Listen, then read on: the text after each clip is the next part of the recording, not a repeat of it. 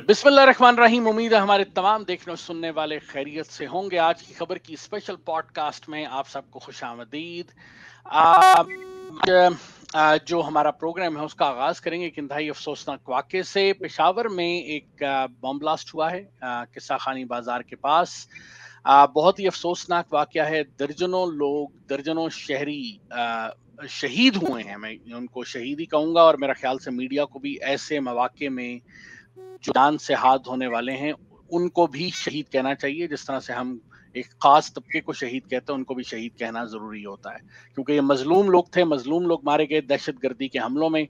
जो आर्मी आलमी सूरत हाल इस वक्त बन रही है, उसके तनाजुर में अगर देखें तो ये धमाका जो है खासा तशवीशनाक है। ख़ास तौर से जब हमारे जो वज़ीर दाखिला हैं, शेख रशीद साहब, वो फरमाते हैं कि जनाब, हमें कोई इंटेलिजेंस इंसाइट मिली ही नहीं।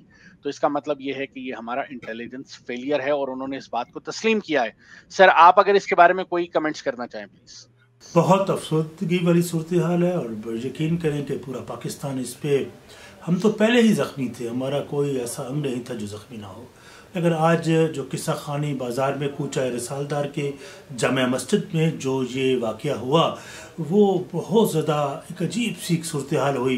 लोग नमाज़ के लिए वहाँ गए हुए थे और वो धमाका यकदम हुआ। फिर ये देखा कि वो जो लाशें थी, हवाओं में उड़ती नज़र आई धमाके से और पूरा इंसानी अजा वहाँ फैल गए और 56 के करीब लोग शहीद हुए, एक सौ चौरानवे के करीब लोग जख्मी हो गए और ये बहुत अलमनाक वाक़ है पेशावर की एक बार पेशावर को दोबारा खून से नहला दिया गया है और ये हुकूमत की सरासर नाकाम पॉलिसीज़ या नाकाम हमत अमली या उसकी इंटेलिजेंस की एक मुँह बोलता सबूत है। जी।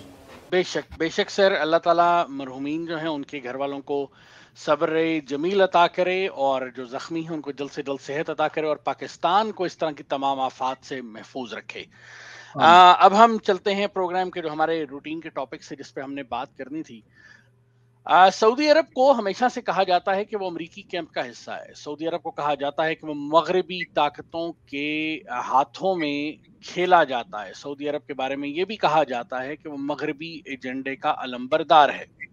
लेकिन हाल ही में crown prince Mohammed bin Salman की तरफ़ से आने वाले कुछ बयान जिसमें उन्होंने अमेरिका को तंबी की कि हमारे जो निज़ाम हुकूमत है, उसके अंदर किसी सूरत भी अगर उन्होंने मुदाखलत करने की कोशिश की तो ठीक नहीं होगा। उसके अलावा उन्होंने अमेरिका से कुछ और ऐसी बातें कहीं, जिससे ऐसा लगता है कि या तो सऊदी अरब किसी और कैंप में जाने की तैयारी कर रहा है, या फिर सऊदी अरब के जो तेवर हैं वो अमेरिका और यूरोपीय ममालिक के साथ कुछ तब्दील होते जा रहे हैं। सर, ये क्या कहानी है? क्या हो रहा है? आप सऊदी अरब के अंदर इतनी ज़रूरत कहाँ से, किसने कैसे डाल दी? जी सऊदी अरब की अमेरिका में सरमायाकारी कम करने की खबर ने यकीनी मुझे भी चौंका दिया था, जिसका एतराफ सऊदी अरब के वली मोहम्मद बिन सुलेमान ने सरमायाकारी कम करने का अंदिया देकर किया है और कहा है कि वो अपने मुल्क के मफादात के तहत सरमायाकारी करेंगे। इस वक्त सऊदी अरब की अमेरिका में सरमायाकारी 800 अरब डॉलर से ज़्यादा है। उन्होंने एक्चुअली हुआ यूँ कि गैर मुल्क की एक मीडिया से अपना एक इंटरव्यू देते हुए गुफ्तु के दौरान कहा, जब उन्होंने ये सवाल किया तो सदर बाइड, जो बाइडन के हवाले से तो उन्होंने कहा कि एक्चुअली है यूँ कि सदर जो बाइडन मुझे समझ नहीं पा रहे। अगर वो मुझे समझ नहीं पा रहे तो ये उनका अपना मसला है। और फिर उनकी ज़िम्मेदारी अपने मुल्क के दाखिली मामला को देखना है। उन्हें यह हक किसने दिया है कि वो दूसरे मुल्क के मामला में दखल अंदाजी करते फिरे। और एक सवाल के फिर उन्होंने जवाब में कहा कि सऊदी अरब में बादशाहत कैम रहेगी। फिर ईरान का एक सवाल उनसे किया गया तो ईरान के बारे में उन्होंने कहा कि तेहरान के साथ डायलॉग की कामयाबी पर यकीन है। दोनों ममालिक के रोशन मुस्तबिल के लिए बामकसद मुजाकर लाजमन है। फिर दूसरी तरफ़ मोहम्मद बिन सलेमान ने उसी मीडिया से गुफ्तु करते हुए कहा कि हम इसराइल को दुश्मन नहीं समझते बल्कि उसे एक मज़बूत इतिहादी के तौर पर तस्वुर करते हैं, क्योंकि हम मिलकर मुश्तर मफादात हासिल कर सकते हैं। अब पता नहीं मुश्तर मफादात का वो कौन से हैं जो उनके अदाफ होंगे तो अल्लाह फ़लस्तियों पर रहम फरमाए। और इसके अलावा ये भी कहा गया कि शिदत पसंदों ने हमारे मज़हब को हाईजैक करके अपने मफादात के लिए तब्दील करके उन्होंने सुनियों और शीयों में, दोनों में दहशत गर्द ग्रोहों को तख्लीक किया है। लेकिन हम इस्लाम की असल तालीमत की तरफ़ लौट रहे हैं। और एक खबर यह भी गर्म है कि सऊदी वलीत की गुफ्तु फिर व्लादिमीर पुतिन से भी हुई जिसमें उन्होंने खुद को यूक्रेन और रूस के माबैन सालसी होने के लिए खुद को पेश किया। इसके अलावा वली अहद ने प्यूटन से आलमी मंडी में तेल की कीमतों में इस्तेकाम को बरकरार रखने का अज़म के अदा भी किया। और तेल मार्केट में तोज़ुन के लिए organisation of the petroleum exploring companies का अपना किरदार अदा करने पर ओपेक्स प्लस माहिदा है एक तो उसको उन्होंने कहा कि इसको हम बरकरार रखेंगे। और फिर ऐसा लगता है कि एक तरफ़ अमेरिका और मगरब की शदीद ख्वाहिश पेश कार्रवाई फरमा रही है, माजी में कि सऊदी अरब समेत तमाम अरब अमारात में जमहूरी निज़ाम कायम किया जाए। जो सदियों पर मुहित इसी निज़ाम की मौत होगी, जिसे किसी भी सूरत में शाह आल सऊद कबूल नहीं करेंगे। इसी तरह की कोशिशें पहले भी होती रही हैं और जिसे किंगडम ने सख्ती से कुचल दिया था। और वहाँ सऊदी अरब में फिर जासूसी के निज़ाम इस कदर मज़बूत नेटवर्क तैयार किया गया है कि वहाँ एक रोड पर चलने वाला टैक्सी ड्राइवर भी जासूसी के महकमे से वाबस्ता है। हर आदमी खौफजदा होता है। बाप बेटे की मुखबरी कर रहा होता है, बेटा बाप की कर रहा होता है। सऊदी कौम में जमहूरी निज़ाम की ख्वाहिश, शदीद ख्वाहिश मौजूद, अगरचे मौजूद है। और अब बदलते बैन अवी हालात के पेशी नज़र सऊदी अरब समेत अरब अमारात ने अपनी तरजीहत में तब्दीली करके हकायक को समझना शुरू कर दिया और वो इसराइल और ईरान के साथ अब खुशगवार ताल्लुक उसवार करने के खां हैं। और ये बुनियादी नुकता कि हमारे यहाँ भी वो लोग जो इस्लाम के नाम पर जहाज़ या प्रॉक्सिस करते रहे हैं के लिए ये माशी मौत का पैगाम है मोहम्मद बिन सुलेमान का आज का ये स्टेटमेंट कि वो किसी भी तरह जज्बात में अगर अब दीप, दीन के नाम पर तेल या रियाल नहीं लुटाएँगे और ना ही किसी दहशत गर्द तंजीम को उनकी परवरिश करेंगे। लेकिन अमेरिका उनसे इसी तरह के मामला का खां है जो किसी दौर में उनके फ्रंटमैन के तौर पर जिस तरह फरमा रहे थे, वो किरदार अदा करता रहा है मासी में। जी। जी बिल्कुल। आ, इस इस पूरी बात को आप रशिया और यूक्रेन का जो करंट तनाजा है आपने थोड़ा सा इसको टच भी किया है। आप उस सिनेरियो में नहीं देख रहे आपको ऐसा तो नहीं लग रहा कि रशिया और यूक्रेन की जो वॉर है उसके अंदर सऊदी अरब जो है वो भी इस जंग का हिस्सा बनने जा रहा है और शायद उसने अपनी साइड तब्दील करने का फैसला कर लिया। यूक्रेन की अभी जो एक गवर्नमेंट है वो प्रो इसराइल है। और उनके, क्योंकि खुद भी प्रेसिडेंट जो हैं, उनके वो बेसिकली जी लेंस की वो सख्त अकीदे का हामिल जो होती है। और उसके ज़ाती मरासम जो है, वो इसराइल के साथ अच्छे खासे हैं। उसके रिलेटिव्स वगैरह और बाकी भी उसकी दोस्ती का हल्का इसराइल में अच्छा खासा है। उसका बहुत असर है। तो ये आने वाले वक्त में हो सकता है जब कोई ऐसे मामला, अगर जब हम रशिया के ऊपर हम बात करेंगे तो उस तरह से भी हम गुफ्तु करेंगे कि आने वाले वक्त में अब हालात किस अंदाज से करवटें लेते आगे बढ़ रहा है, जिस पे पूरी दुनिया उसकी लिपेट में आ सकती है। तो यकीनी सऊदी अरब को भी बदलते हालात का इल्म है। मोहम्मद बिन सुलेमान एक डफर आदमी नहीं है, बहुत कई आदमी है, बहुत समझदार आदमी है, नौजवान है, और उसने पूरी दुनिया की, पूरी हिस्ट्री को स्टडी किया हुआ है। और वो पोलिटिकल साइंस को समझता है, उसके फलसफे को समझता है, और वो समझता है कि किस तरह नबरद आजमा किया जा सकता है। हमत अमली बेहतर कैसे तैयार की जा सकती है? जी। जी, बिल्कुल, आप दुरुस्त फरमा रहे हैं और आपने कहा कि हम रशिया और यूक्रेन की वॉर पे बात करते हैं तो सर बात शुरू कर देते हैं। और आप ये बताइए कि रशिया और यूक्रेन की जो वॉर है ये एक बड़ा तनाज़ा बनती जा रही है। ये सिर्फ़ दो मुल्कों की जंग नहीं रही, इसके अंदर यूरोप, अमेरिका सब तकरीबन जो है, तशवीश का इजहार कर रहे हैं। कनाडा, अमेरिका, ये सारे इसके ऊपर असलाह देने को तैयार हैं। वैसे मुझे इन ममालिक की भी समझ नहीं आती कि इनकी ये जो इंसानियत है, ये कहाँ मर जाती है, जिस वक्त कश्मीर के अंदर जो है, एक लंबा लॉकडाउन लग जाता है। इनकी इंसानियत तब कहाँ मर जाती है, जब फलस्तीन में मासूम बच्चों के ऊपर जुल्म हो रहा होता है। इनकी इंसानियत तब कहाँ मर जाती है, जब सीरिया, लबनान इराक यहाँ पर आम इंसानों, औरतों, बच्चों के ऊपर जुल्म हो रहा होता है और इन्हीं की अपनी अफवाज वहाँ पे जुल्म कर रही होती है। तो इंसानियत भी यहाँ पे सिलेक्टिव है वैसे तो लेकिन आप इस टोटल पूरी वॉर को कैसे देखते हैं, किस तनाजुर में देखते हैं, और इसका थोड़ा सा हमें बैकग्राउंड भी बताइए प्लीज़ शासक दानश्वर कहते हैं कि जंग शुरू करना आसान होता है, लेकिन जहीन, शातिर और दूर अंदेश रहनमा वो होता है जो जंग को अपनी मंशा से समेटने की सलाहियत रखता हो, और मतलूबा नतज भी अपनी मर्ज़ी के मुताबिक हासिल कर ले। रूस दो दहाइयों से अमेरिका और मगरब को अपनी सिक्योरिटी से मुतल खदशात से आगाह करता रहा और याद बावर करवाता रहा कि नेटो को रूस के मशरक में ना आने दिया जाए। लेकिन अजीम रूस को डिसइंटीग्रेट करने वाली ताकतों ने रूस को अपने से कमज़ोर मुल्क जानकर उनकी उसके इस मौक़ पे कान ना धरे और ना इसके मुतालबे पर कान धरे। और जिस तरह अमेरिका और मगरब कभी भी अपनी सरहदों के करीब किसी मुखालफ फौज के वजूद को बर्दाश्त नहीं करता। और ये उनका एक डबल स्टैंडर्ड है जिस आप पहले फरमा रहे हैं बिल्कुल ठीक कह रहे हैं उनके ये मुनाफाना रवैया है। तो फिर यही रवैया अगर रूस के साथ भी, भी यही था कि वो किसी भी सूरत में भी अपनी बशर की सरहदों पर नेटो को का वजूद बर्दाश्त नहीं कर पा रहा था। अगर यूक्रेन रूस की जंग को हम में से बहुत से मगरब की एनक से जांचते हैं, इसलिए जानबदाराना रवैये की वजह से दुरुस्त अंदाज़ा भी नहीं लगाया जा सकता। रूस की यूक्रेन पर जलगार के वक्त हमने ये अंदाज़ा लगाया था और हमने, मेरे ख्याल में कोई हमने व्लॉग भी किया था कि यूक्रेन दो दिनों में रूस के सामने अब ढेर हो जाएगा।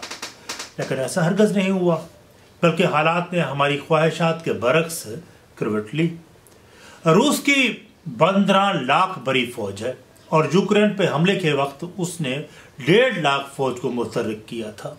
डिप्लॉय फौजेस को एक एक लाख पचास हज़ार फौज डिप्लॉय की गई थी यूक्रेन के लिए। और दूसरी तरफ़ यूक्रेन की तीन लाख चालीस हज़ार नफूस पर मुश्तमिल फौज है। गोया के डेढ़ लाख फौज के मुकाबले में तीन लाख चालीस हज़ार की फौज मुकाबले के लिए बिल्कुल खड़ी है। रूस की अगरचे फायर पावर बहुत ज़्यादा है। लेकिन यूक्रेन की फौज ने भी डंडे या गोलेले तो हाथों में नहीं थाम रखी, बल्कि वो अमेरिका के और यूरोप के जदीद तेईन असले से वो लेस है। आप में से बहुत से ये भी जानते हैं कि यूक्रेन का सदर जी लेंसकी जिस तरह मैंने पहले बात की कि वो एक सख्त अकीदे का हामिल यहूदी है, जिसको इसराइल की मुकम्मल पुष्ट पनाई हासिल है।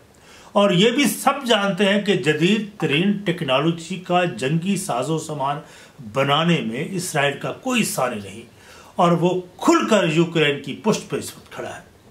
और दूसरी तरफ़ रूस 630 अरब डॉलर का फॉरेन एक्सचेंज भी रखता है, जिसका 16 फ़ीसद डॉलर की शक्ल में है। और अब हम ये देखते हैं कि रूस को लड़ाई के लिए किसी से असले के मांगने की ज़रूरत नहीं, ना उसको दरख्वास्त करनी पड़ेगी।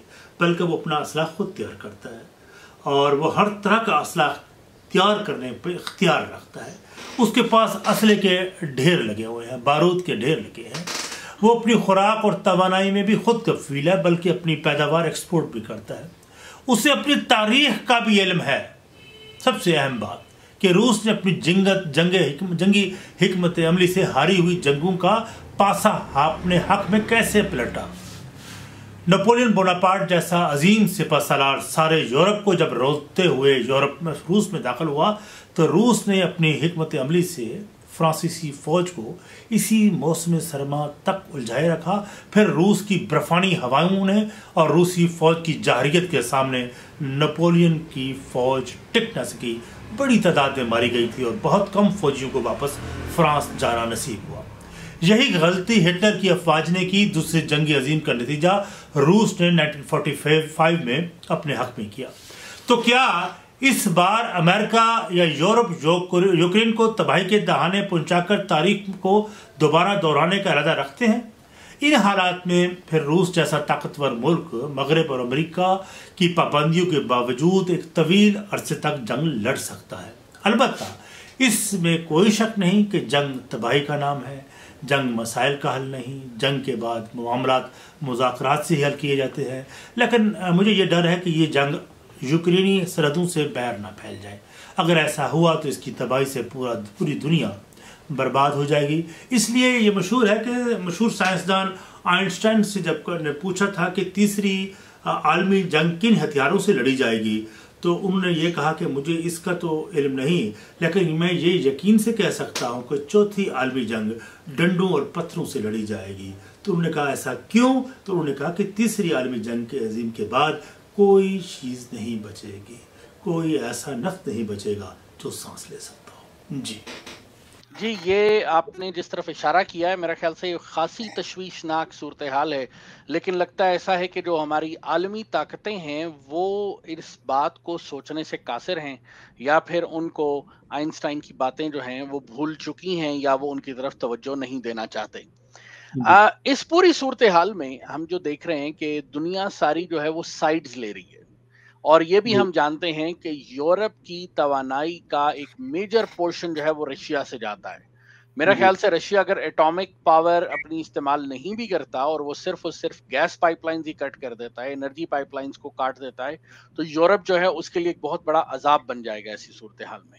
तो मगरबी ताकतें ताकतें भी मेरा मेरा ख्याल से सोचेंगी कि वो पुतिन के ऊपर या रशिया के ऊपर किसी किस्म की जो पाबंदियाँ हैं वो लगाने के बारे में कई दफ़ा सोचेगी। ये सारी बातें अपनी तरफ़ से प्रोग्राम को आखिर की तरफ़ ले जाने से पहले मैं एक छोटी सी बात आपसे पूछना चाहूँगा। वो ये है कि जहाँ दुनिया सारी रशिया के खिलाफ खड़ी हुई है ऐसी सूरत हाल में गो कि हम प्राइम मिनिस्टर इमरान खान साहब के बहुत बड़े नाकद हैं लेकिन मेरे ख्याल से उन्होंने और उनके रशिया के दौरे के ऊपर भी हमने तनकीद तो की थी लेकिन आपको ऐसा नहीं लगता कि रशिया में जो उन्होंने दौरा किया और जिस तरह के माहदे वो कर रहे हैं इस, इस वक्त रशिया से पाकिस्तान को खुद मुख्तारी की तरफ़ लेकर जा रहे हैं इंडिपेंडेंट डिसीजंस लेने की तरफ़ लेकर जा रहे हैं, और शायद पाकिस्तान के लिए रशियन ब्लॉक में जाना जो कि बहुत एक तवील अरसे से जिसको डिले किया जा रहा था। उसके अंदर कुछ एक अच्छा पाकिस्तान के लिए एक अच्छा मुस्तकबिल जो है वो आप देखते हैं या नहीं देखते? एक्चुअली शाह साहब, पाकिस्तान इस वक्त दो हिस्सों में बटा हुआ है। एक तरफ़ एस्टेब्लिशमेंट और ब्यूरोक्रेसी जो है आपकी वो जो पॉलिसी बना रही है, वो तो प्रो अमेरिकन हैं। आपकी अफवाज जब जाती हैं वार कोर्सेज के लिए अमेरिका जाती हैं तो वहाँ उनका ब्रेन वाश भी किया जाता है तो उनको प्रो अमेरिकन बना के ही भेजा जाता है। वो पॉलिसीज़ भी उसी तरह की बना के भेजते लेकर आते हैं, और उनका तहफ़ भी करते हैं। और दूसरी तरफ़, अगर इमरान खान साहब का है तो मैं तो उसको इसलिए संजीदा नहीं लूँगा इमरान खान की बात को, कि इमरान खान साहब का जितने भी जो एग्रीमेंट या उनके ऐसा माहदे हुए हैं, ये कोई ऐसी ट्रिटी नहीं है, या कोई ऐसा नहीं है, जिसको पर हम कोई गुफ्तु करें। क्यों? इसलिए कि अभी इस पुल के नीचे से पानी ने गुजरना है बहुत ज़्यादा। अभी हालात ने बदलना है। अभी देखें तेल और देख, देखें और तेल की धार देखें। अभी देखें कि हवाओं का रुख किस तरफ़ है।